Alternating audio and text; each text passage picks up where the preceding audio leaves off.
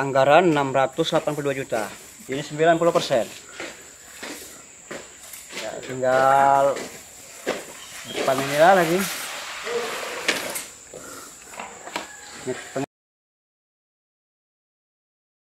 Selama ini pelayanan desa dilakukan di rumah saya sendiri, selaku kepala desa. Semenjak desa berdiri baru sekarang desa Tanjung Karang punya kantor. Ya terima kasih kepada Bapak Oku 1, Oku 2, dan anggota DPRD Kabupaten Oku, khususnya Yudi Nagroho.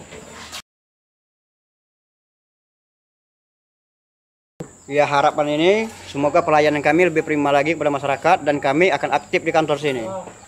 Kalaupun nanti ada kunjung-kunjungan, kalau dulu kan di rumah sempit, susah. Kalau sini halaman lebih luas lagi, parkirnya bagus. Dengan ada ini kami sangat bangga sekali. Ini adalah gedung pertemuan untuk rapat, membuat perencanaan, rapat antara musyawarah, BPD, tokoh masyarakat di sini. Kalau mau mengadakan perencanaan untuk sementara waktu, karena de- kantor desa kan baru tahun ini yang kita buat. Ya selama ini selama lima tahun di sini rapat menggunakan dana desa APBN. Ya, terima kasih kepada Pak Pak Jokowi.